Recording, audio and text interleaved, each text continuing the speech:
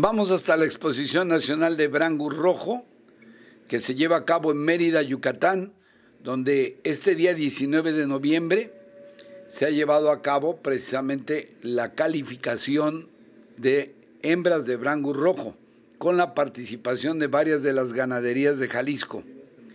Y el resultado fue el siguiente.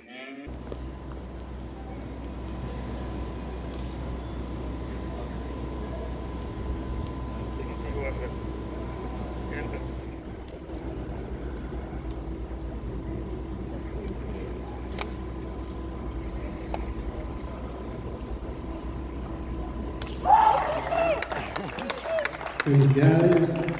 Placa 44 San Ángel de los Altos, proveniente de Jalisco. Muchas felicidades a esta ganadería. Tenemos a la nueva campeona nacional de la raza. Felicidades Alfonso Álvarez por haber obtenido el triunfo San Ángel Brangus y tener la campeona nacional de Brangus Rojo. Y muchas gracias a Fernando Franco por el envío de esta información. Soy Jaime Muñoz Polit, esto es Campo de México.